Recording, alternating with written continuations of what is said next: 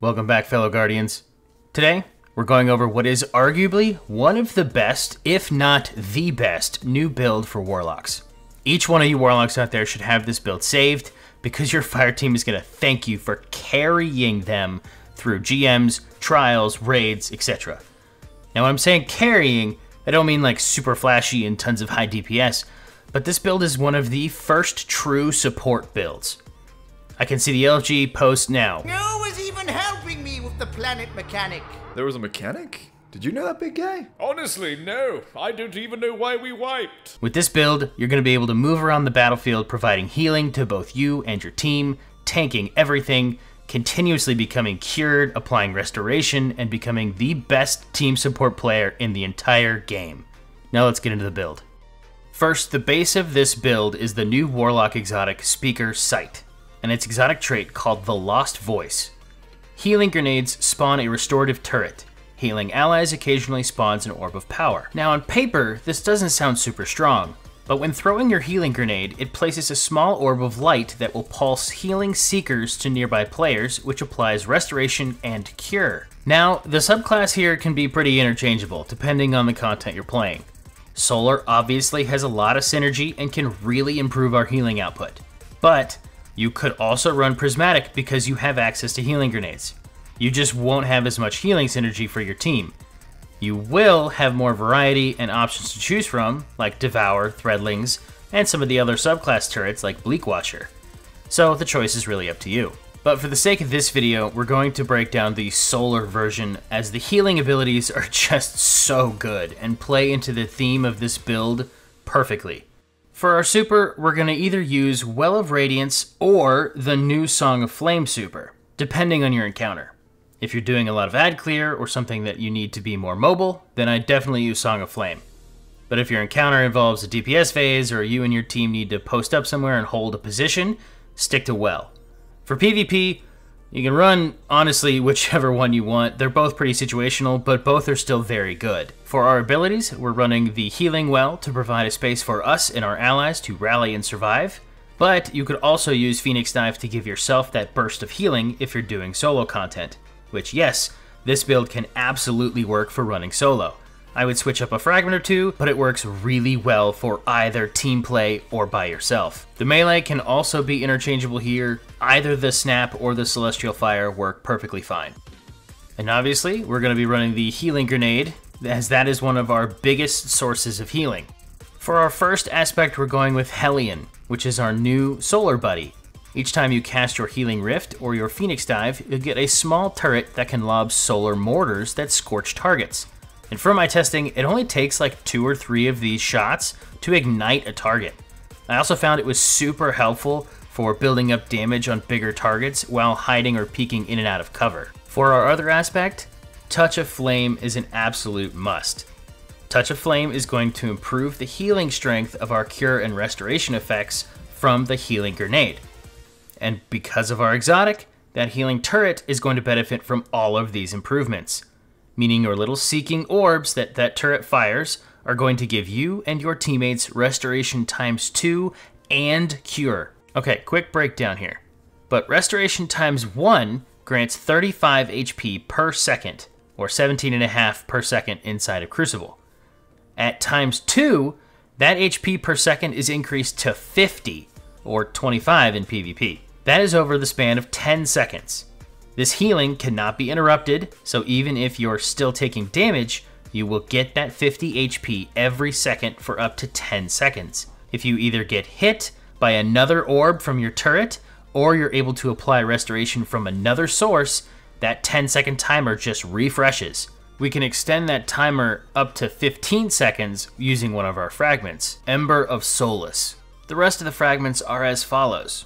Ember of Torches, our powered melees are going to make us and nearby allies radiant, giving us a 25% weapon damage buff for 10 to 15 seconds. Ember of Searing, which will give us melee energy for defeating scorched targets, and it's also going to create a Fire Sprite. And Fire Sprites also grant a small amount of grenade energy. And lastly, Ember of Benevolence.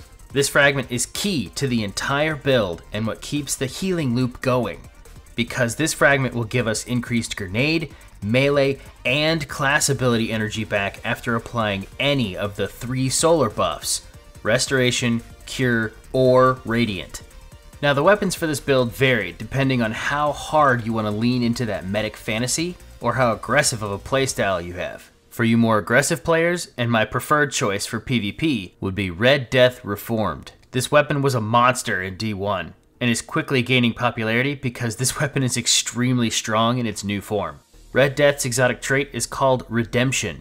Final blows with this weapon cure you and increase reload speed.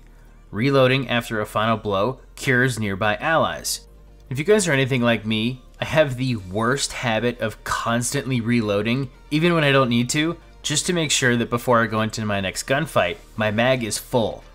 This gun will literally reward you and your team for playing exactly like that. And in a few weeks, the Catalyst will be released in the Season Pass, which is going to make this weapon's healing capabilities even stronger.